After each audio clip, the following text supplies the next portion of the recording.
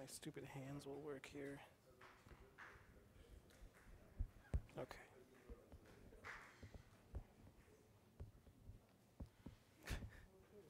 All right. Thanks. Trip all over myself here.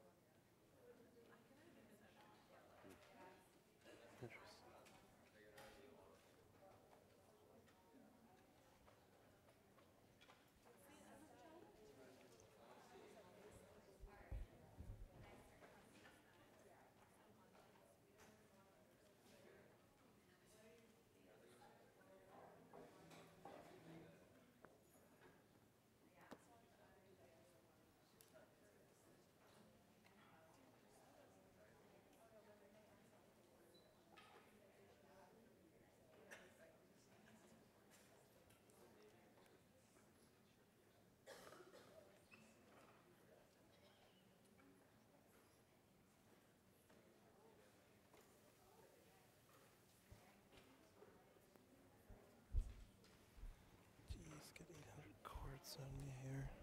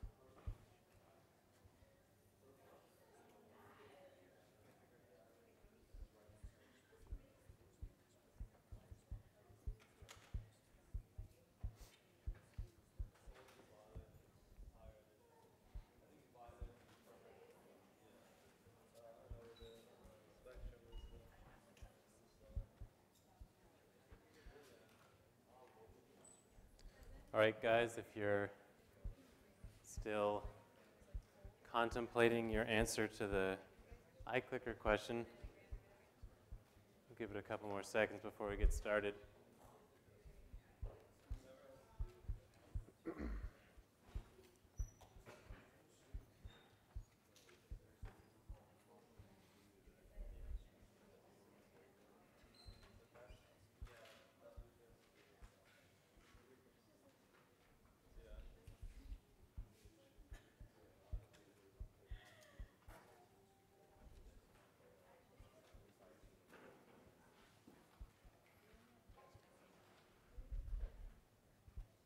Okay, so the question is what will happen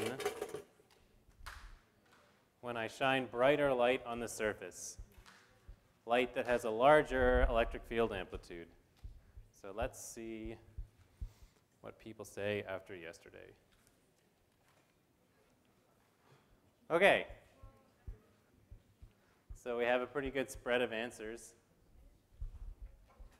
which is fair since most of us have probably never seen this firsthand before, probably don't have a lot of experience with it. By far, well, not by far, but the most common answer seems to be that the electrons will have more kinetic energy when I increase the brightness of the light.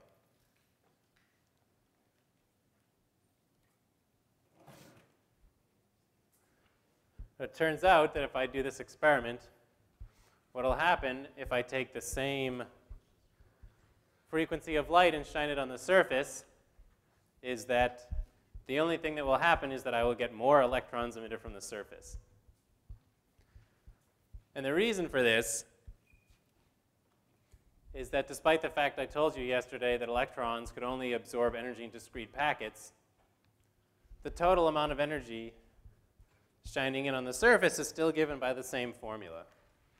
So it might be true that when I absorb this energy, I can only do it in tiny little packets.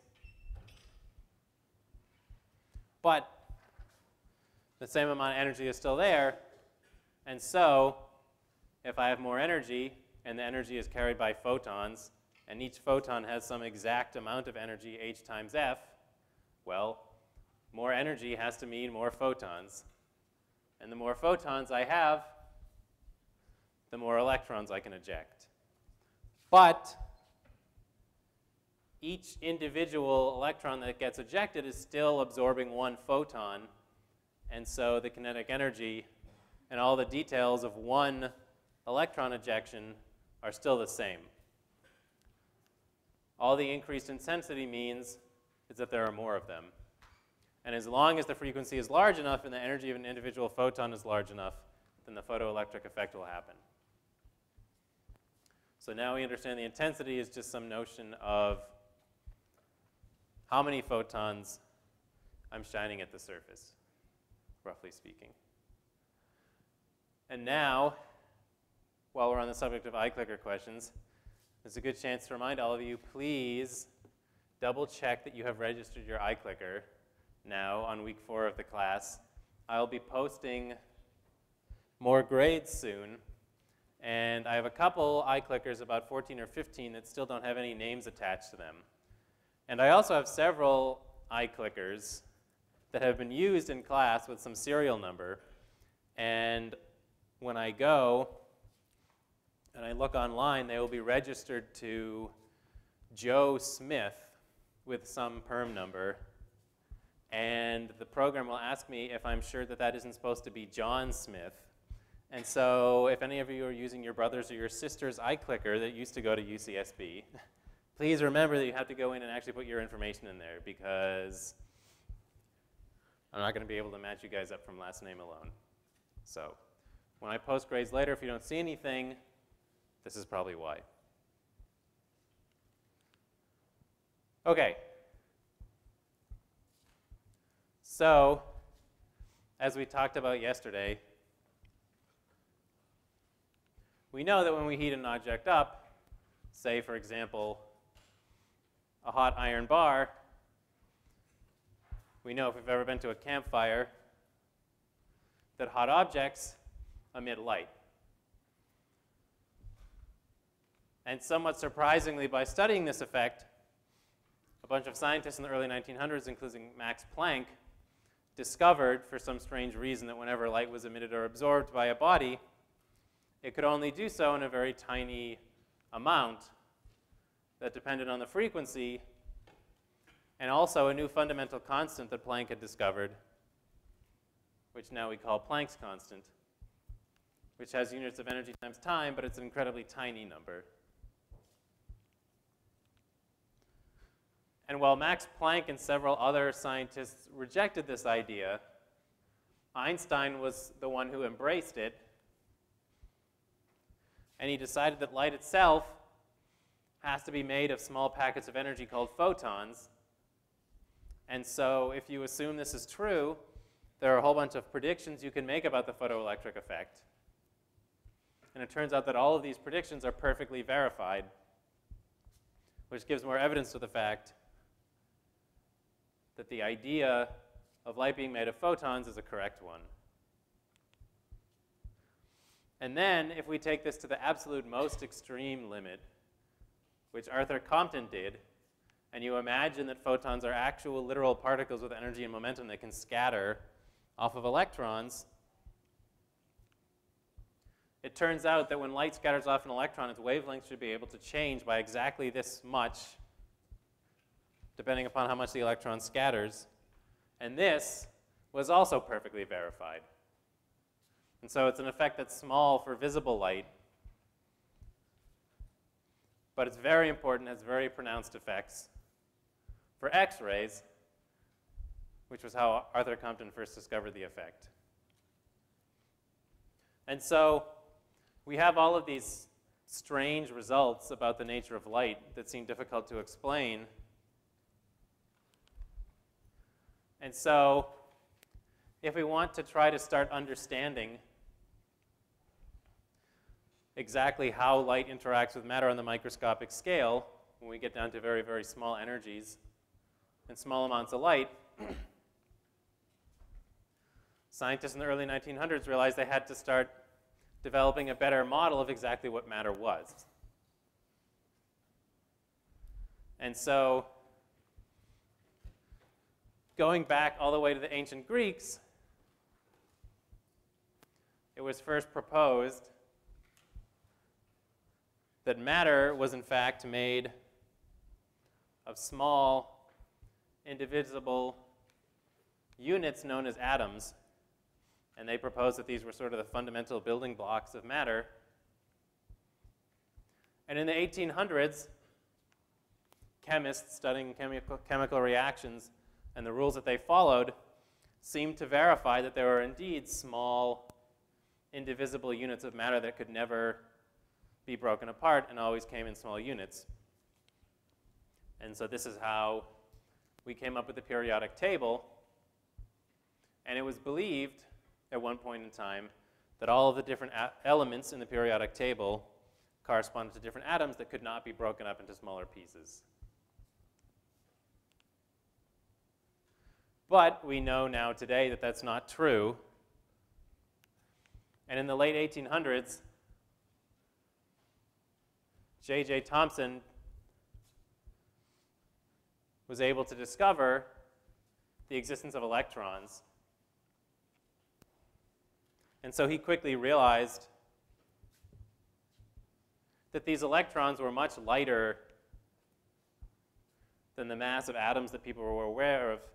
And he proposed that these were some sort of basic building block of atoms that went into what made up every atom, and that you could remove them from atoms, and that atoms were not actually so indivisible as we thought. And further work by Rutherford and other scientists basically led scientists to the conclusion that atoms were, in some sense, some very densely packed, positively charged object with negative electrons circling around this nucleus. And so today, we understand that the nucleus is made of protons and neutrons, protons being positively charged particles and neutrons being neutral, hence the name. But at the time, they just knew that there were electrons, and they circled some sort of positive object that was sitting right at the center.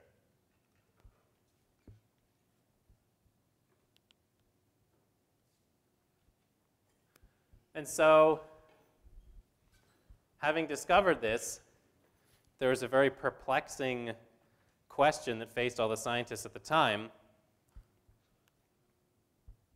which was that they knew from the laws of electromagnetism, including the ones that we talked about a few weeks ago, if I take an electron, which is an electrically charged object, and it moves around in a circle, say, it orbits around the proton inside of a hydrogen atom, which is the simplest simplest atom that exists It's just a single electron and a proton. Because it's moving it around and accelerating, it should emit a bunch of electromagnetic waves. But those electromagnetic waves carry energy, and the energy has to come at the expense of the electron. And so as the electron is spinning around, it should be emitting a bunch of energy and light, energy which it needs, kinetic energy and potential energy, to be able to stay in orbit around the proton. So the question now is, what exactly should happen when the electron circles around the proton?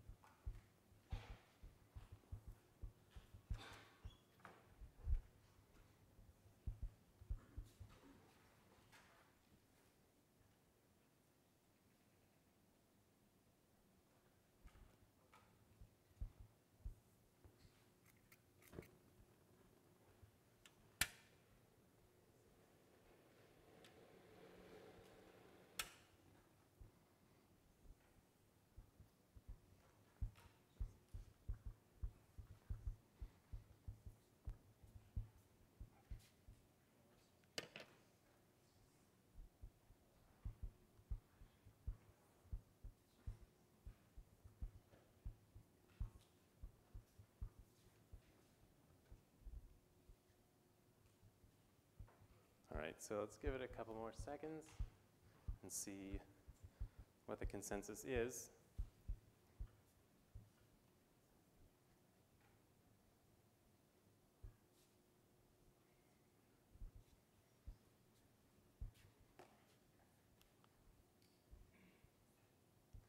Okay, so survey says a tie between A and C.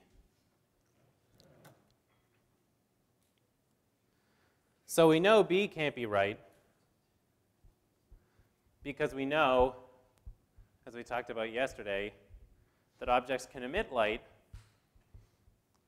And given that we believe that matter is made up of atoms,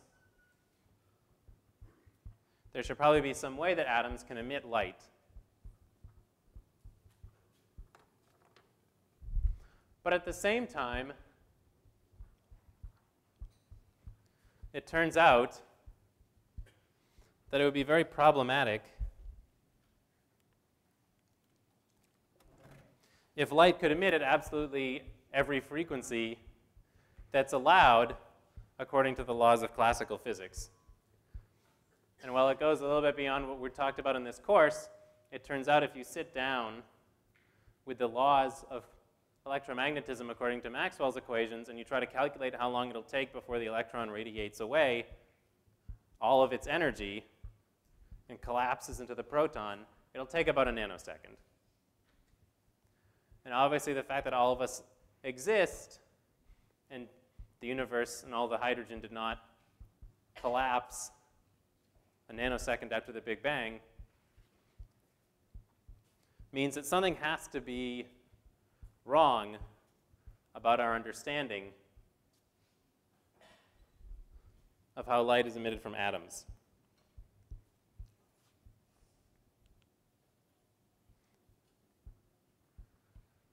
And so it turns out that there is. And this effect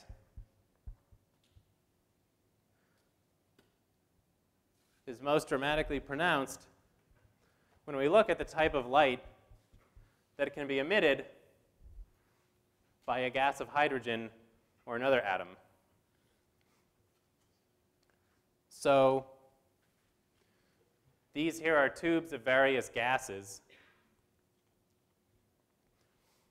And when I pass an electrical current through them, I'll heat them up, and I'll give a bunch of energy to the atoms, which gives a bunch of energy to the electrons in the atoms, and then because I've given them energy, they can emit light. But something very strange happens, which you can see if you look here. I don't just get a whole big rainbow. When I shine the light that's emitted from this hydrogen spark chamber, there are only a couple of distinct lines that I can see once I pass the light through a prism. And so if I try to apply the laws of classic electromagnetism to this, there isn't really any good way to try to explain this. I mean, first of all, hydrogen shouldn't even exist. It should have collapsed about a nanosecond after it was made. And clearly, that can't be true because it's sitting here right in front of me. And this isn't just a property of hydrogen. I can do this with another gas. That's what neon looks like. So if you just looked at a neon lamp and didn't know any better, you would think it would be emitting a whole bunch of red light, but if you look more carefully, it's actually more complicated than that. You don't see a rainbow, you see just a couple of thin bands of light. And again, the same thing happens with krypton.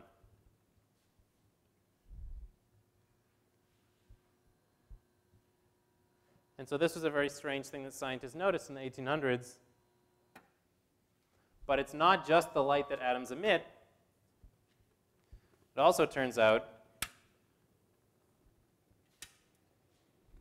that it's the light that they absorb.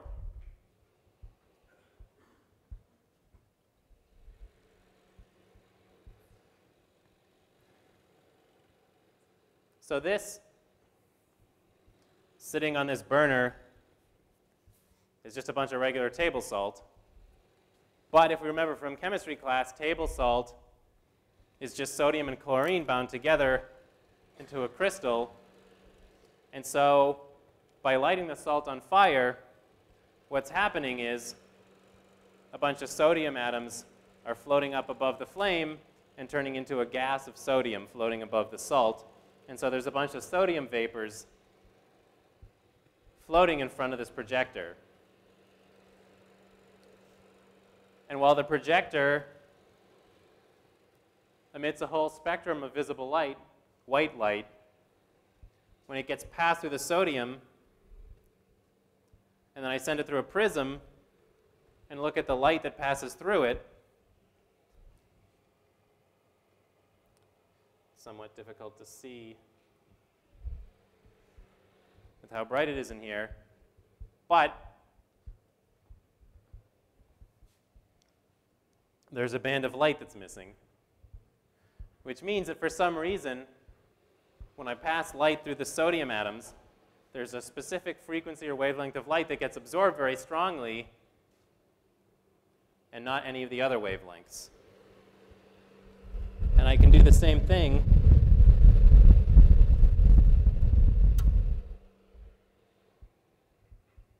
by looking at what happens when I take sodium atoms and pass a bunch of electricity through them and excite them to see what kind of light they absorb, or emit, sorry. I'll see if I can make it a little bit darker in here.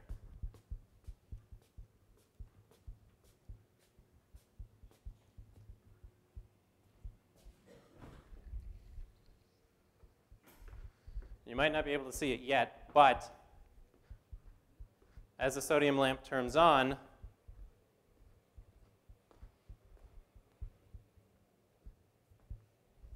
There will be one point here in a minute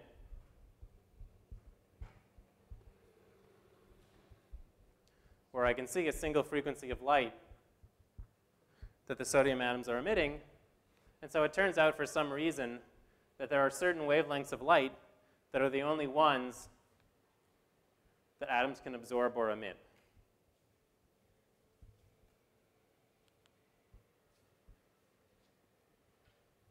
And so this isn't just true for hydrogen or sodium or neon. This turns out to be true for every element.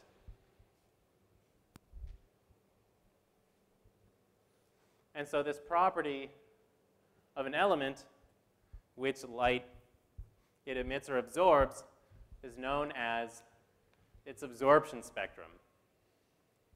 And so this is a very, very handy feature because it turns out each element has a unique absorption spectrum. And so I can actually use this to identify what the chemical composition of an unknown material is. If I didn't know that I was burning salt, but I had some very careful measuring devices and I could measure what the frequency of this light is, I would know that I was burning sodium because the wavelengths of light that get absorbed or emitted are exactly the right ones.